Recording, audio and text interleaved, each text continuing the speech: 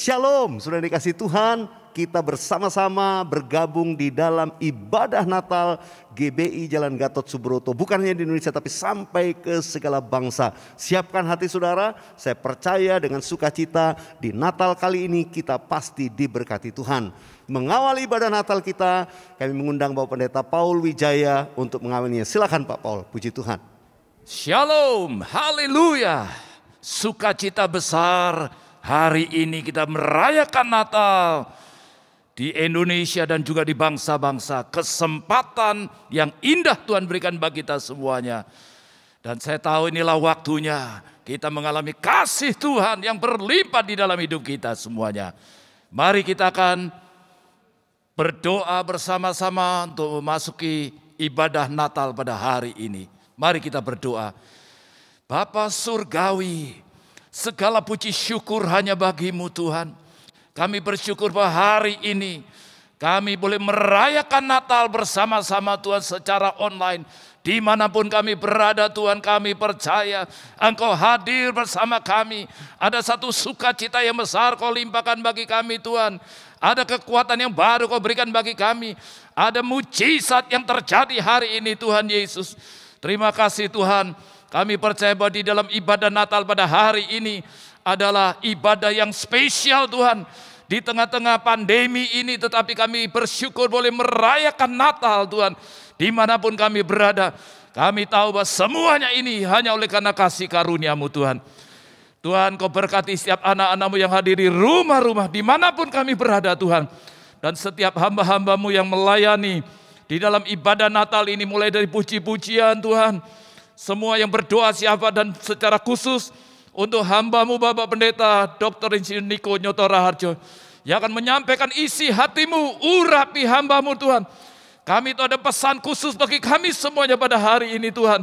Yang akan menguatkan kami, yang akan menuntun hidup kami untuk memasuki tahun 2022 kami percaya berkat Tuhan yang besar kau curahkan bagi kami semuanya. Terima kasih Tuhan. Segala puji syukur, hormat kami naikkan bagimu. Dalam nama Tuhan Yesus kami berdoa. Haleluya. Amin. Terima kasih Bapak Pendeta Paul Wijaya. Nah mari sudah dikasih Tuhan Natal selalu berbicara tentang puji-pujian dan sukacita. Karena itu biarlah ibadah Natal ini walaupun secara online saudara jangan nonton tapi ikut memuji Tuhan di rumah-rumah. Saya percaya semua pasti diberkati. Haleluya. Dan jangan lupa siapkan lilin untuk nanti kita bersama keluarga, candlelight bersama dengan gembala sidang kita. Nah sudah dikasih Tuhan tanpa berlama-lama mari satukan hati memuji Tuhan dengan puji-pujian Natal yang membawa berkat bagi kita semua. Haleluya.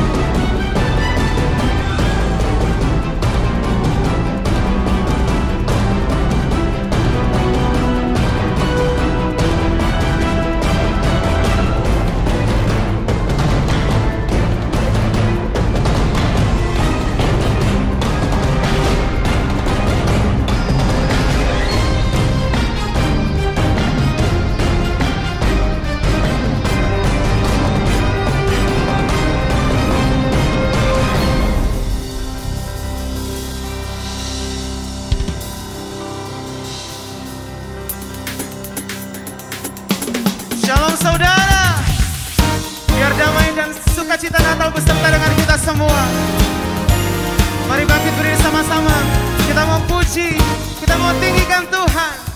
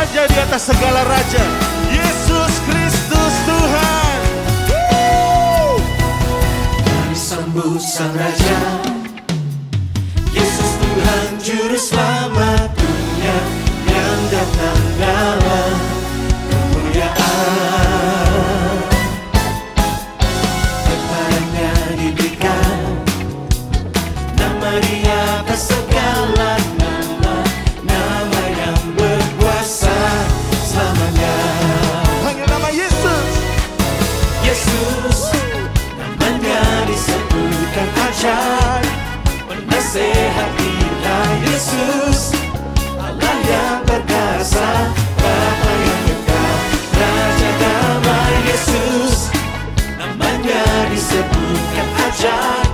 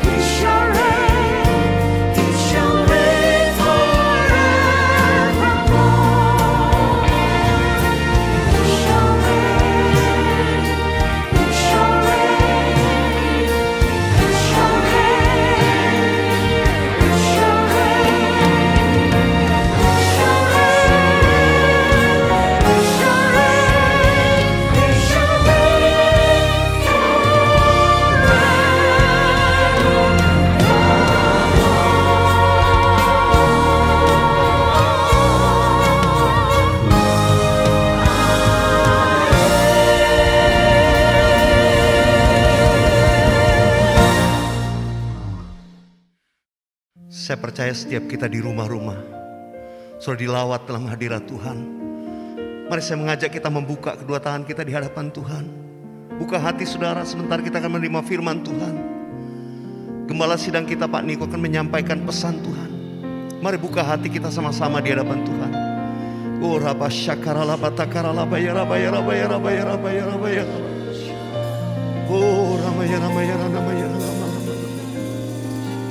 Yesus, Yesus. Mari nyanyikan bersama-sama saya. Bapa di surga, ku puji namamu. Saya persilakan Pak Niko. Bapa di surga, ku puji namamu.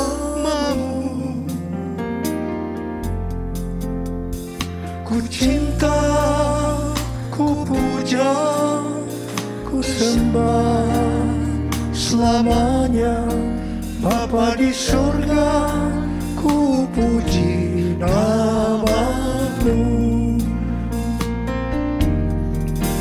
Bapa di surga ku puji namamu. Oh Yesus. Bapa di surga ku puji namamu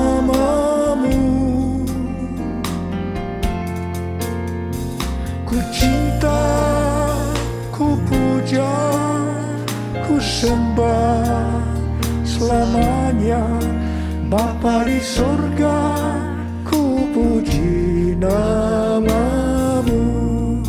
Mari angkat tangan saudara, kita sembah dia. Ria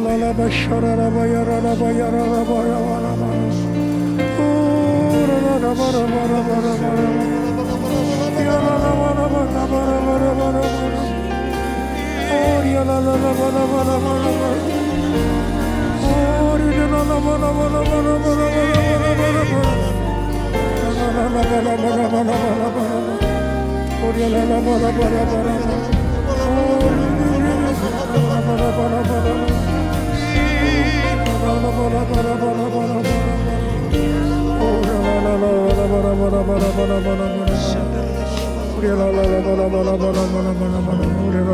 raba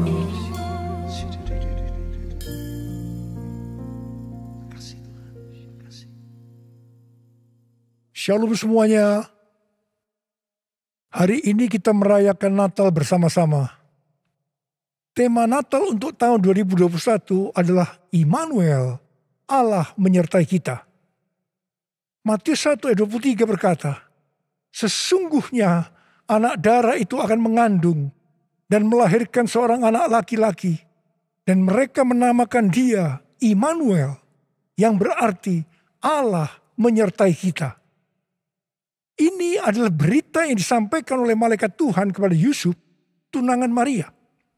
Pada waktu itu, Yusuf sedang mempertimbangkan akan menceraikan Maria dengan diam-diam.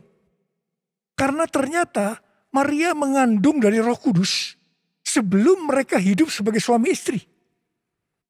Ketika Yusuf mempertimbangkan maksud itu, malaikat Tuhan menampakkan diri kepadanya dalam mimpi dan berkata, Yusuf anak Daud, janganlah engkau takut mengambil Maria sebagai istrimu. Sebab anak yang dalam kandungannya adalah dari roh kudus. Ia akan melahirkan anak laki-laki dan engkau akan menamakan dia Yesus. Karena dialah yang akan menyelamatkan umatnya dari dosa mereka. Hal itu supaya terjadi seperti nubuatan Nabi Yesaya lebih kurang 700 tahun sebelum Masehi mengenai datangnya Immanuel. Kata Immanuel dalam Matius 1 ayat 23 tadi dalam bahasa Yunaninya adalah Emmanuel yang berasal dari bahasa Ibrani Immanuel yang merupakan nama profetik dari Mesias atau Kristus yang dinubuatkan Nabi Yesaya dalam Yesaya 7 ayat 14.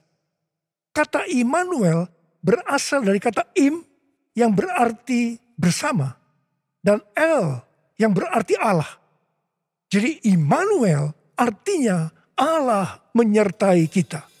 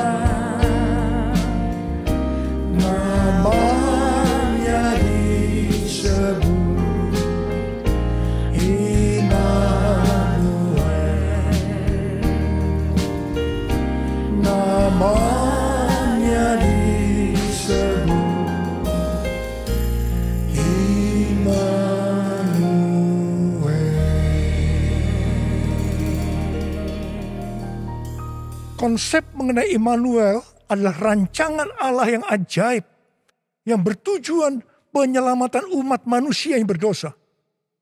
Alkitab berkata, semua orang, semua orang telah berbuat dosa dan telah kehilangan kemuliaan Allah. Upah dosa adalah maut, mati, tempatnya di neraka. Neraka adalah tempat yang sangat mengerikan. Jangan sampai masuk neraka. Untuk itulah Tuhan Yesus, Sang Mesias, Sang Immanuel lahir ke dalam dunia ini untuk menyelamatkan umat manusia yang berdosa. Immanuel yang artinya Allah menyertai kita. Berbicara tentang kasih Allah yang luar biasa kepada umat manusia. Yohanes 3 ayat 16 berkata, Karena begitu besar kasih Allah akan dunia ini, sehingga ia telah mengaruniakan anaknya yang tunggal, supaya setiap orang yang percaya kepadanya tidak binasa, melainkan beroleh hidup yang kekal. Bagaimana cara Tuhan Yesus menyelamatkan umat manusia? 2 Korintus 5 ayat 21 berkata, Dia yang tidak mengenal dosa telah dibuatnya menjadi dosa karena kita. Supaya di dalam dia kita dibenarkan oleh Allah. Ini dapat diterangkan sebagai berikut. Tuhan Yesus yang tidak mengenal dosa telah dibuatnya menjadi dosa karena kita. Artinya Tuhan Yesus harus mati karena dosa-dosa kita. Sebenarnya kita yang seharusnya mati. Karena kita lah yang berdosa.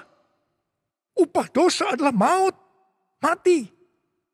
Tetapi Tuhan Yesus yang tidak berdosa telah dijadikan dosa. Artinya Tuhan Yesus yang mati menggantikan kita.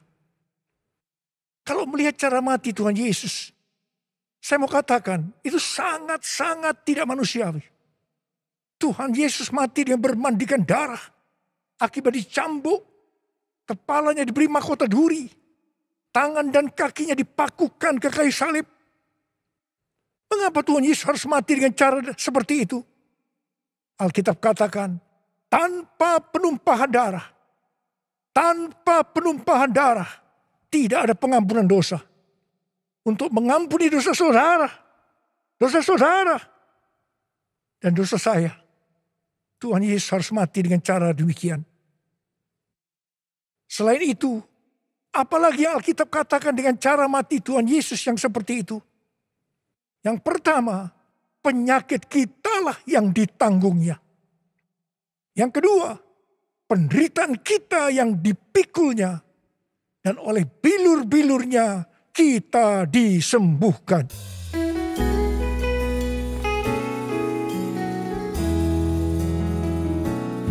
Kasih Allahku sungguh telah terbukti Ketika dia serahkan anaknya. Kasih Allah mau berkorban bagi kau dan aku. Tak ada kasih seperti kasihnya. Kasih Allahku sungguh telah terbukti Ketika dia serahkan anaknya Kasih Allah mau berkorban bagi kau dan aku. Tak ada kasih seperti kasihnya. Bersyukur, bersyukur, bersyukur. Oh bersyukur karena kasih setiamu. Ku sembah, ku sembah, ku sembah dan ku sembah Selama hidupku ku sembah kau Tuhan.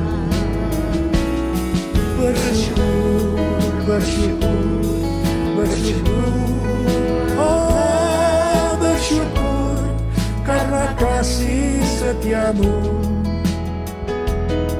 Ku sembah, ku sembah, ku sembah dan ku sembah Selama hidupku ku sembah kau Tuhan.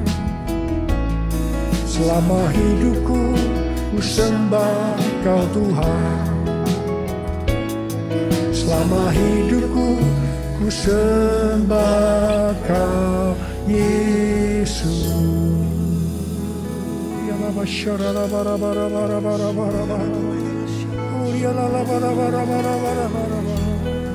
Mari kita angkat tangan kanan kita.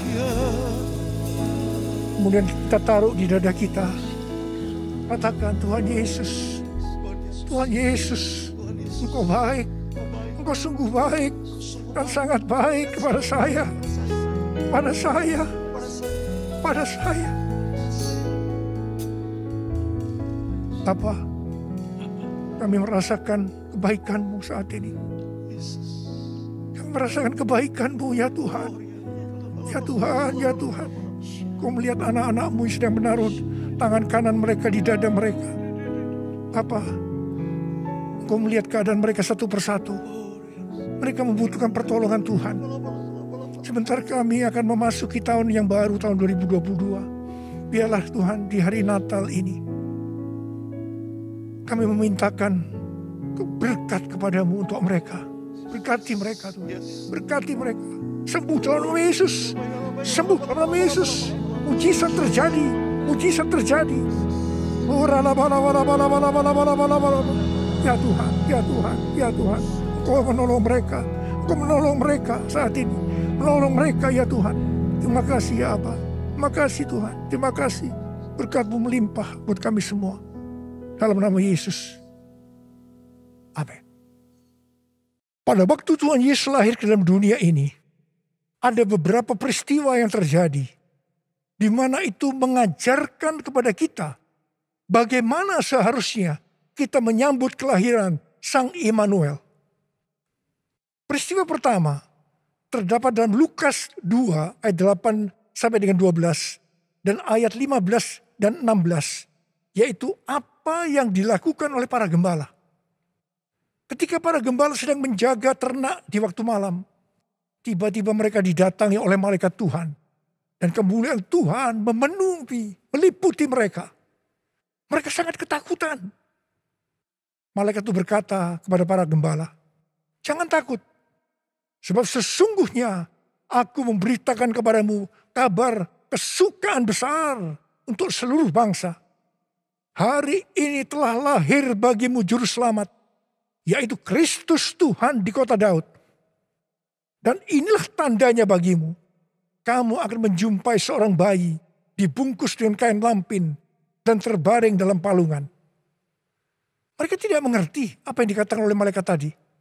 Tetapi mereka taat pergi untuk menjumpai sang Mesias, Immanuel. Di sini kata kuncinya adalah ketaatan. Peristiwa kedua terdapat dalam Lukas 2 ayat 13 dan 14. Yaitu adanya nyanyian para malaikat dan banyak bala tentara surgawi yang memuji Allah. Kemuliaan bagi Allah di tempat yang maha tinggi dan damai sejahtera di bumi di antara manusia yang berkenan kepadanya.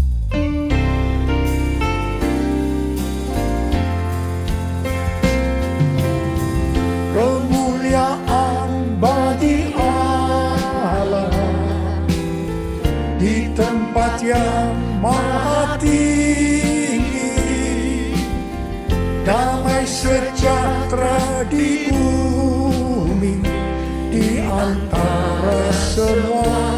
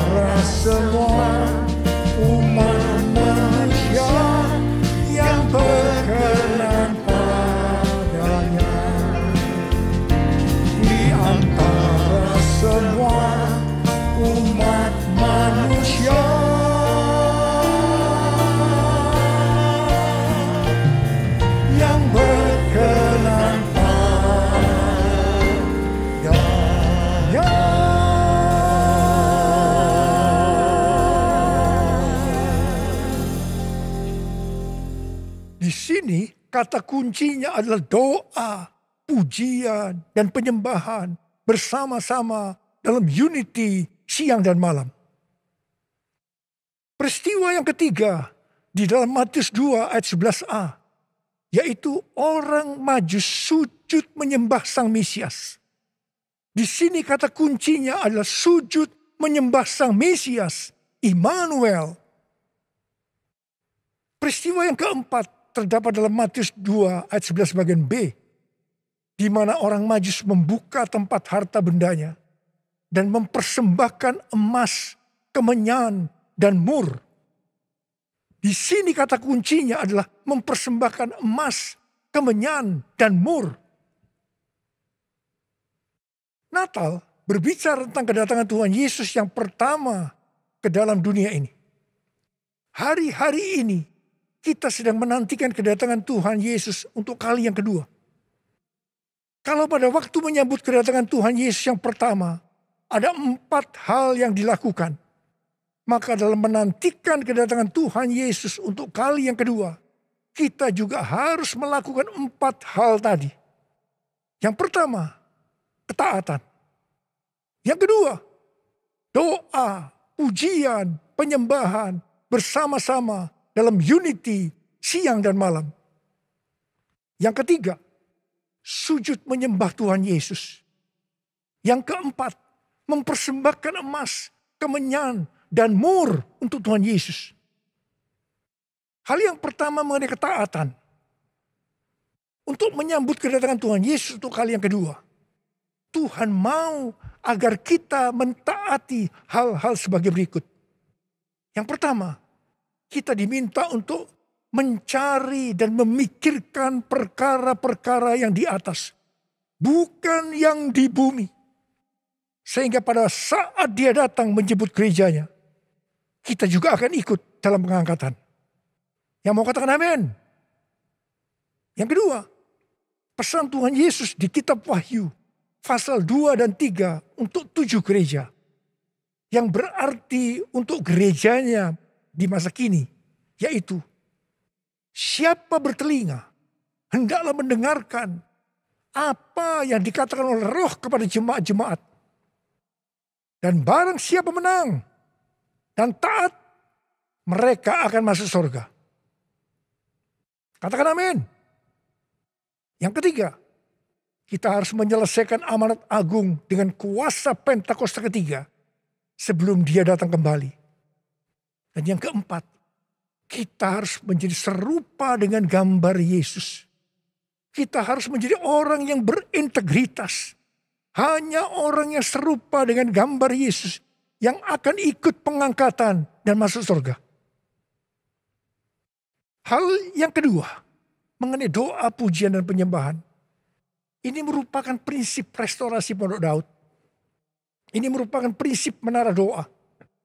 Ini berbicara tentang keintiman dengan Tuhan. Orang yang hidupnya intim dengan Tuhan pasti merindukan kedatangannya. Sesuai dengan 2 Timotius 4 ayat 8, maka orang yang merindukan kedatangannya akan mendapatkan mahkota kebenaran. Saudara yang merindukan untuk mendapatkan mahkota kebenaran, katakan amin. Hal yang ketiga, mengenai sujud menyembah Tuhan Yesus. Itu artinya kita melakukan segala kehendak Tuhan. Kisah para Rasul 13 ayat 22 berkata bahwa tentang Daud Allah telah mengatakan, Aku telah mendapatkan Daud bin Isai, seorang yang berkenan di hatiku dan yang melakukan segala kehendakku. Daud berkenan di hati Tuhan karena Daud melakukan kehendak Tuhan pada zamannya. Itu juga artinya Daud sujud menyembah Tuhan. Bagi kita, Tuhan Yesus mengendaki agar kita sujud menyembah dia. Artinya, kita harus melakukan kehendaknya pada zaman ini. Ku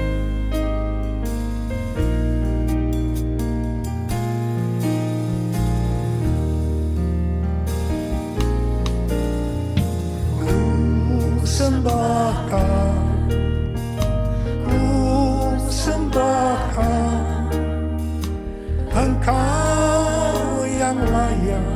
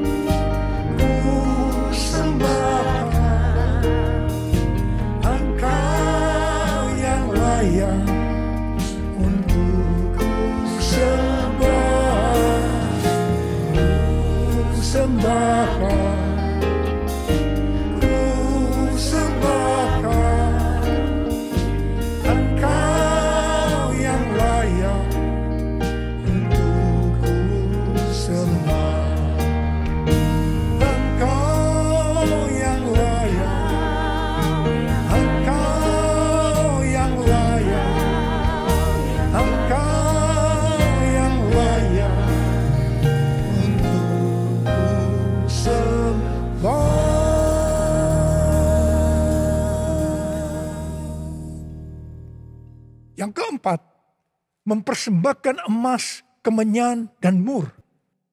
Sesuai dengan apa yang dituliskan dalam Alkitab, maka kita akan berbicara secara arti rohani. Emas berbicara tentang kekudusan atau kemurnian. Sikap, tindakan, dan ucapan kita harus kudus. Sebab tanpa kekudusan, kita tidak ada seorang pun yang akan melihat Tuhan. Ini artinya kita harus mempersembahkan hidup kita untuk terus-menerus diproses dan dikuduskan oleh Tuhan. Emas biasanya dikaitkan dengan kekayaan, kesuksesan, dan kekuasaan. Kebanyakan motivasi orang yang bekerja atau berusaha adalah untuk mendapatkan tiga hal ini untuk dirinya sendiri. Tetapi kita diminta untuk mempersembahkan semuanya itu untuk Tuhan. Sehingga kita tidak akan cinta uang. Kita tidak akan sombong. Dan tetap mengasihi manusia seperti mengasihi dirinya sendiri. Emas juga berbicara tentang sesuatu yang mahal harganya. Seperti Tuhan meminta Ishak yang sangat mahal harganya bagi Abraham. Demikian juga Tuhan meminta sesuatu yang mahal bagi kita untuk dipersembahkan kepada Tuhan.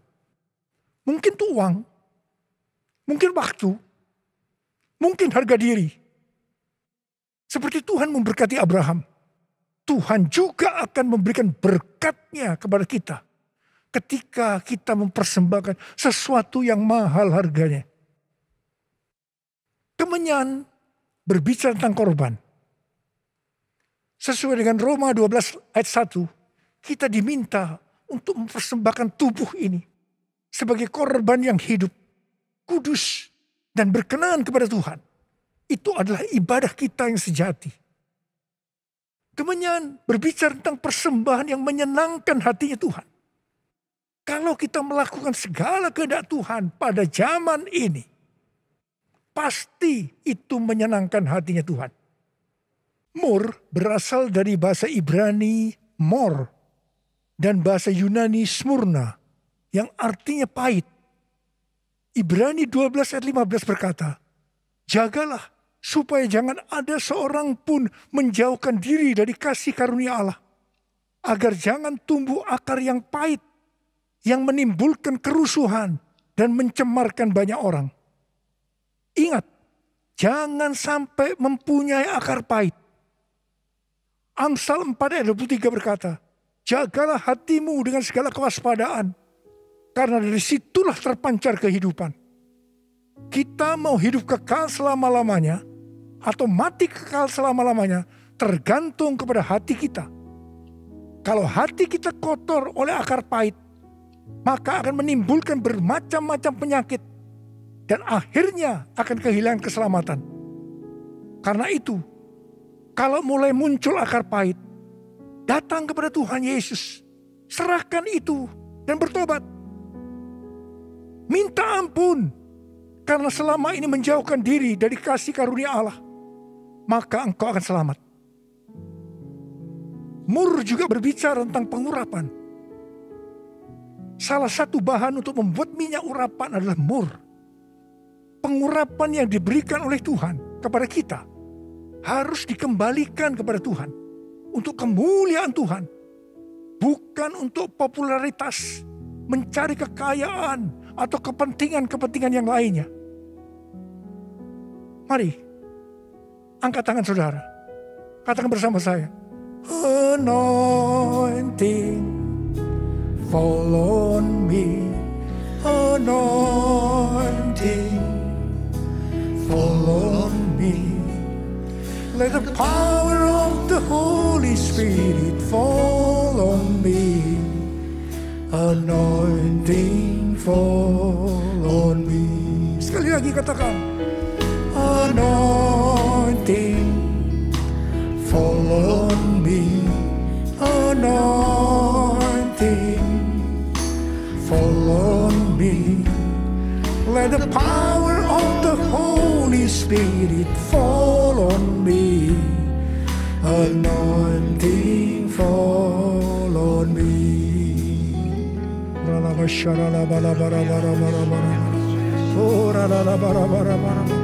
Tuhan, urapi kami semua ya Tuhan, urapi kami, urapi anak-anakmu ya Tuhan. Bentar lagi kami akan memasuki tahun yang baru, tahun 2022. Urapi kami, urapi kami Tuhan, urapi.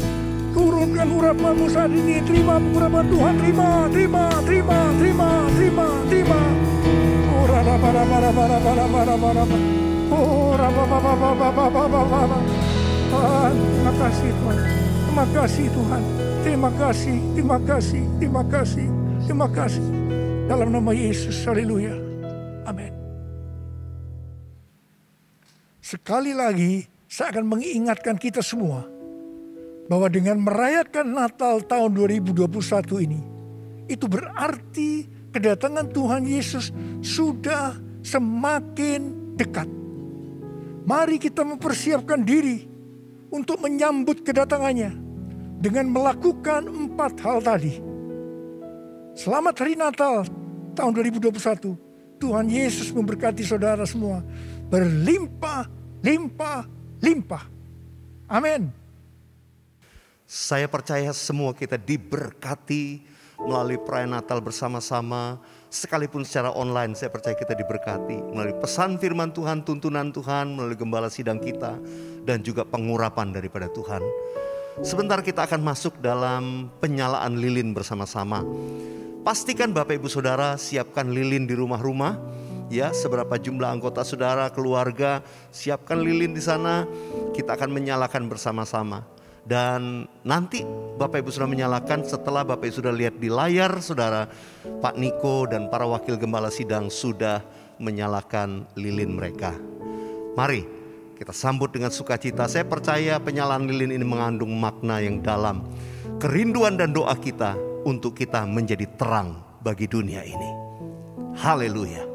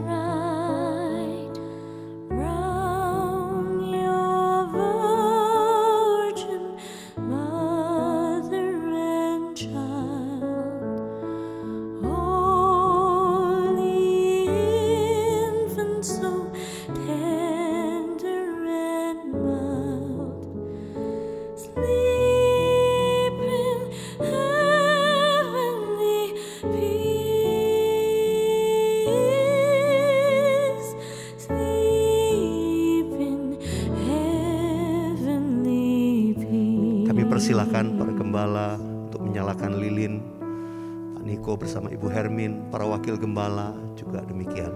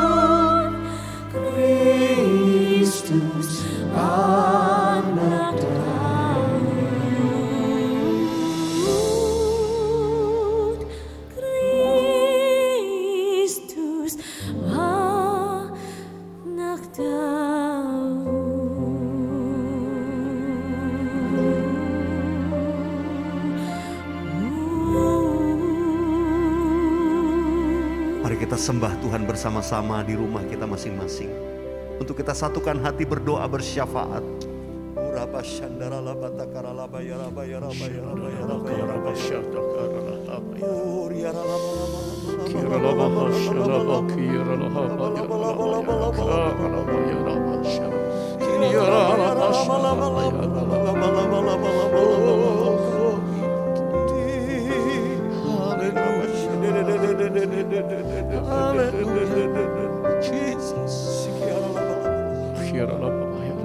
Hati kami limpah dengan ucapan syukur karena Tuhan kumpulkan kami di Indonesia, di segala bangsa pada hari yang spesial di tahun 2021. Tuhan izinkan kami bersama-sama bersyukur untuk celebrate Christmas. kelahiranmu, Raja Damai, Immanuel, Allah yang menyertai kami dan menyertai gerejamu bukan hanya gereja di padang gurun tapi juga gereja di akhir zaman pada hari ini. Tuhan terima kasih. Semua karena kebaikan Tuhan. Engkau telah memberkati sepanjang tahun ini. Sehingga dari anak-anak yang menyusui, bayi-bayi, remaja, pemuda, dewasa muda, young family, senior, single, dan family semuanya mengalami kebaikan Tuhan. Hati kami limpah dengan syukur kepadamu di Natal tahun ini. Karena engkau Immanuel yang menyertai kami, melindungi kami, menyembuhkan, memulihkan. Bahkan Tuhan engkau hadir saat ini dengan mujizat-mujizatmu. Apa yang telah disampaikan oleh hambamu, Bapak Gembala senior kami. Kiranya kami tangkap dengan iman. Dan kami akan melihat tahun yang akan datang. Pintu-pintu terobosan Tuhan bukakan untuk setiap umatmu. Diberkatilah semua jemaatmu, pengerja hamba Tuhan, gembala dan siapa pun kami.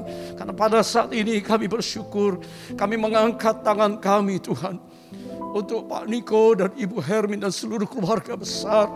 Karena kasih karunia kemurahan Tuhan. Engkau izinkan Pak Niko tetap memimpin gerejamu ini. Bahkan sampai hari ini. Bahkan selanjutnya penyertaan dan urapan Allah mengalir terus atas hambamu. Terima kasih Tuhan. Terima kasih. Engkau baik Tuhan gereja-gereja kami semuanya. Kami juga bersyukur untuk Pak Dani Tumewa dan keluarga. Tuhan baik untuk Pak Paul Wijaya dan keluarga, untuk Pak Arwianto Cokro dan keluarga, dan kami semuanya. Kami katakan Tuhan, Engkau ajaib untuk kami. Terima kasih. Kami percaya Tuhan, bukan saja Indonesia yang ditolong oleh Tuhan saat ini. Kami yang ada di bangsa-bangsa mengangkat tangan dan berkata, badai COVID teduh diam. Dan kami melihat mujizat Allah bukan cuma Indonesia, tapi sampai ke bangsa-bangsa.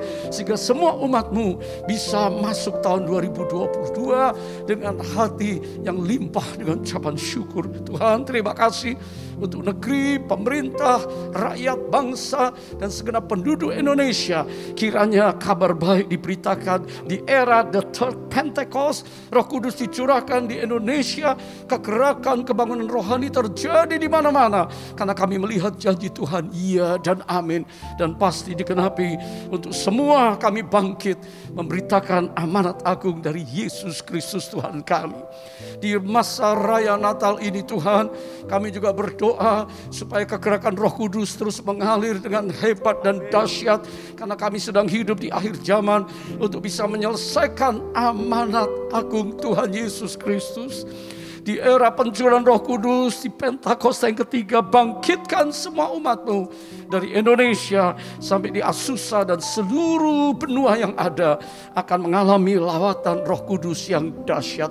Terima kasih buat hari ini semua kami bahkan jiwa-jiwa baru yang mengikuti ibadah ini mereka mengalami jamahan daripada kasih Yesus yang telah datang 2000 tahun yang lalu dan kasih itu tetap sama sampai hari ini. Roh Kudus beracaralah selanjutnya dalam hidup kami supaya setiap kami gereja Tuhan akan terus memandang kepada Engkau dan menantikan kedatangan kemuliaan Raja segala raja Yesus Kristus Tuhan. Immanuel God with us. Tuhan tetap menyertai kami sampai kedatanganmu. Dalam nama Yesus kami bersyukur. Haleluya haleluya. Semua kita katakan amin Mari di rumah-rumah kita buka hati kita, kita siapkan untuk terima doa berkat dari gembala sidang kita. Terimalah berkat Tuhan. Kasih karunia yang berlimpah-limpah daripada Allah Bapa di dalam anak yang tunggal Yesus Kristus. Persekutuan yang manis dengan roh kudus menyertai saudara sekalian mulai hari ini. Sampai Tuhan Yesus datang menjemput kita di awan-awan dan bahkan sampai selama-lamanya. Yang percaya bersama-sama katakan, Amin. Sekali lagi kami mengucapkan selamat hari Natal tahun 2021 dan sekaligus selamat tahun baru 2022. Immanuel, Allah menyertai kita mulai hari ini sampai selama-lamanya. Yang percaya bersama-sama katakan amin.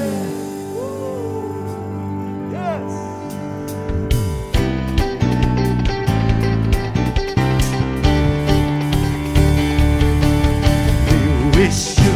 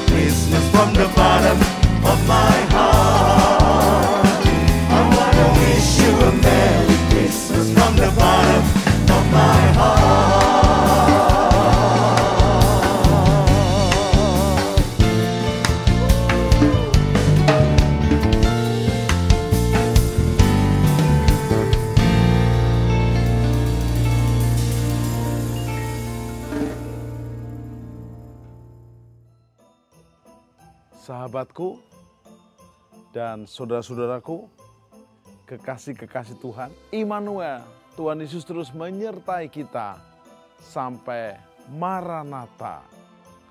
Selamat Natal dan selamat tahun baru dengan harapan dan semangat yang baru. Badai pandemi pasti berlalu dan kita senantiasa mengalami terobosan dan kemenangan. Yes.